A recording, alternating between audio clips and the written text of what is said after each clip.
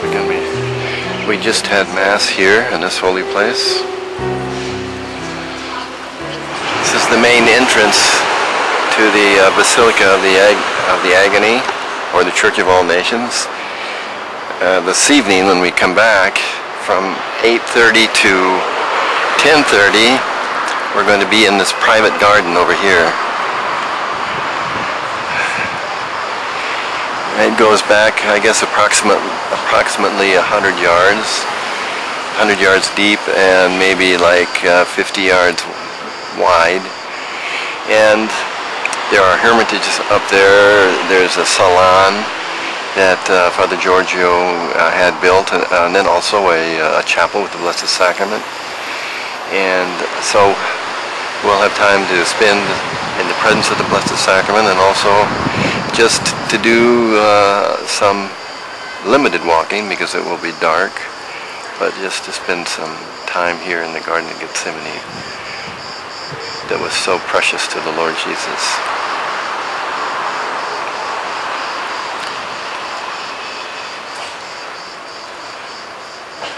One van has uh, dropped half of our group. Oh, here comes the other van now. And we'll be spending two hours here in Gethsemane.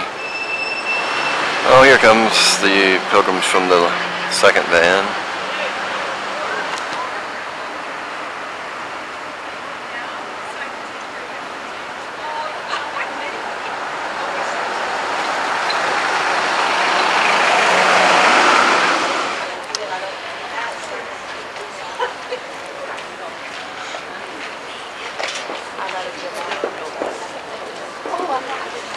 So we're being shown now to uh, St. John Vianney Hall, which is this first structure right here.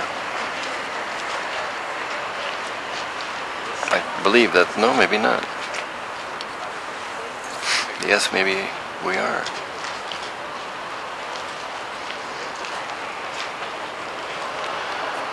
We're in the Garden of Gethsemane, looking across Kidron Valley to the old city of Jerusalem. It's almost 9 p.m.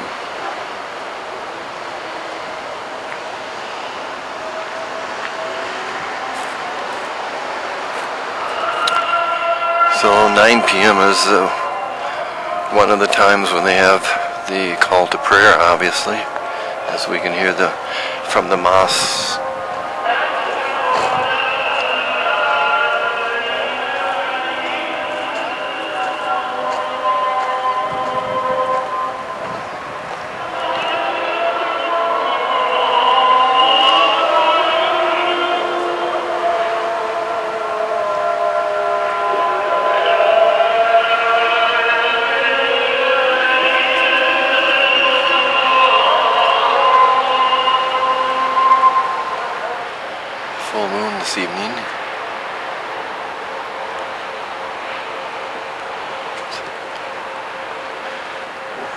It's quiet in spite of the traffic.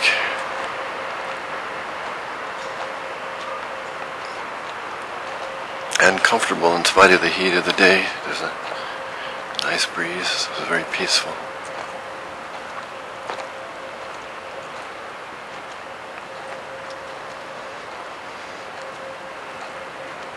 It's Wednesday morning, the last morning of our pilgrimage, and we are now in Ein Karim, the village of Elizabeth and Zachariah and John the Baptist.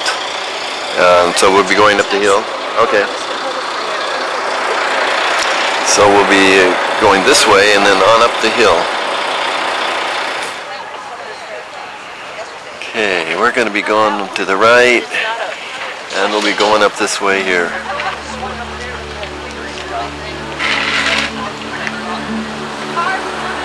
Okay, so we tried to get this cab to take uh, Jerry, Nareda, and uh, and uh, Judy and Don up, but the the driver refused. He only came this far, so we're gonna have to walk it.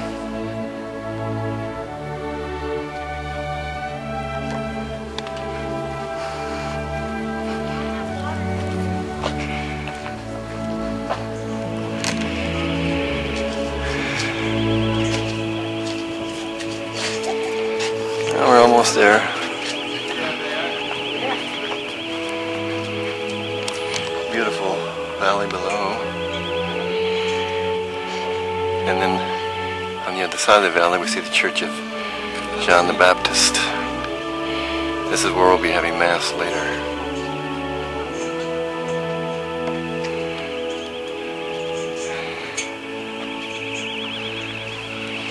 This is the, the Church of the Visitation.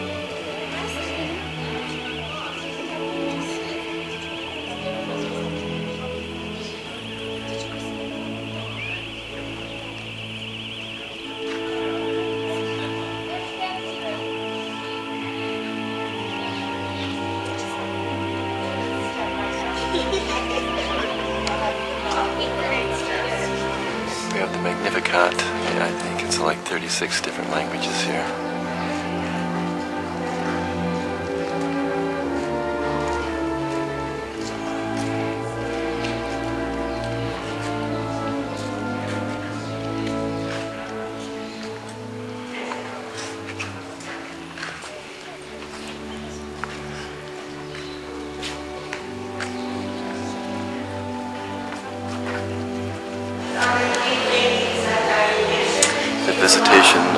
Elizabeth, I mean Mary, to her cousin Elizabeth.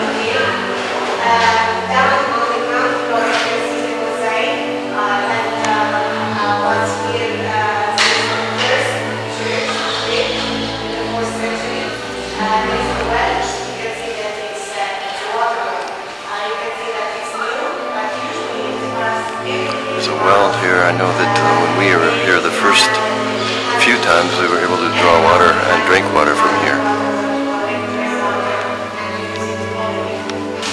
Here we see Zechariah um, exercising his, his priesthood in the temple.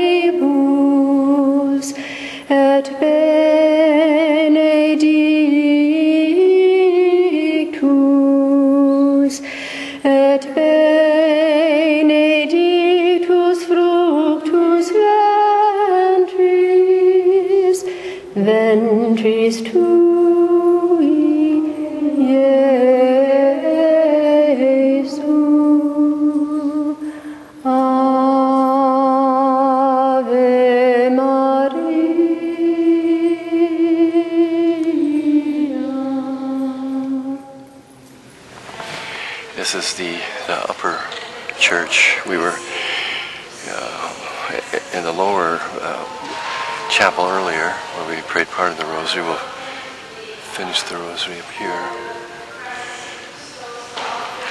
This is Our Lady of Palestine.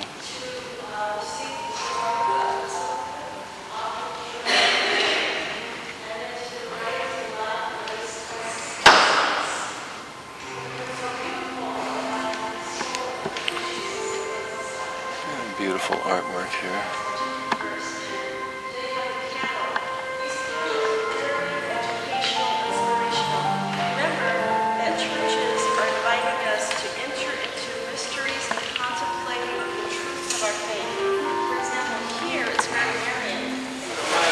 Church of John the Baptist.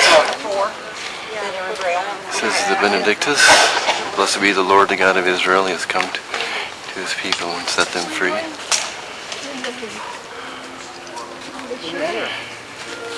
So this is the uh, the complex. Whoops, the complex of the uh, St. John the Baptist Church.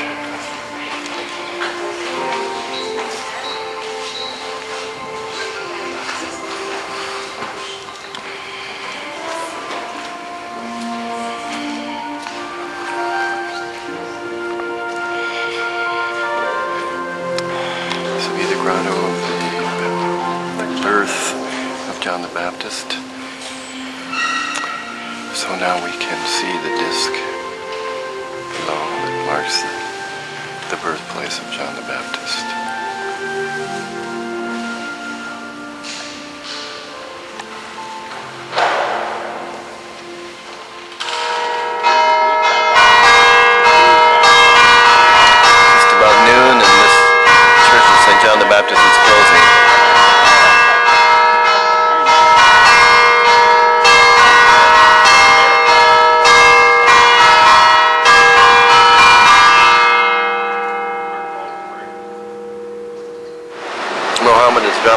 Bethany.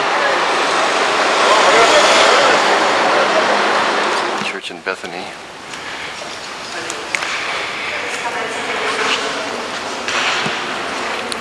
Okay, this here is, of course, Martha at the feet of Jesus, and I mean Mary at the feet of Jesus, and Martha tending to the household tasks.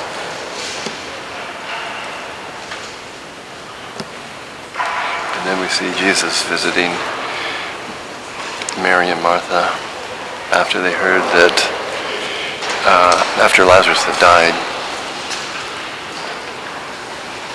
And then over here, we see Jesus telling Lazarus to come out. This is the chapel at the Notre Dame, and I believe this is a, a good place for concluding message to our pilgrimage. Uh, Father Solana pointed out that in this statue of our Blessed Mother and the, the child Jesus, we see Jesus with his arms open wide, welcoming the pilgrims as they, as they come here. And then he pointed out that the statue on top of Notre Dame with Our Lady and the child Jesus, Jesus is, is pointing to go forth. And so we have been welcomed, we have received, and now we have to uh, go forth and share from from what we have received, because what we received was not just not just for us, uh, but for um, for others as well. This has been, an, I believe, a, a truly remarkable pilgrimage from a lot of different perspectives. But the Lord has richly uh, poured out His graces upon us, and and now it's up to us to receive those treasures and not to bury them, but to uh, invest them, not only for our own spiritual good, but for the good of others. So we thank our Blessed Mother for her intercession, for St. Joseph and our guardian angels and patron saints as they accompany us on this journey of faith. Uh, may this experience that we experience together be a part of our lives always, now and forever. Amen.